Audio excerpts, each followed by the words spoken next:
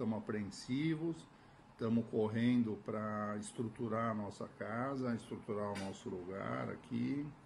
É, meus filhos estão recolocados na Tzavá, no exército, e a confiança no nosso exército é gigantesca.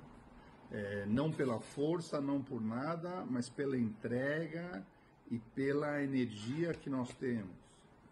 É, o que foi feito com o nosso povo foi alto, algo demais, demais, demais, se passou de todos os limites. Enquanto eu estou falando com você, os foguetes continuam caindo nessas regiões. Então, é, nós estamos dentro de um conflito, as atitudes estão sendo tomadas em Gaza, na região, mas é, as regiões que os terroristas entraram e bagunçaram já estão sendo cuidadas, já estão sendo tratadas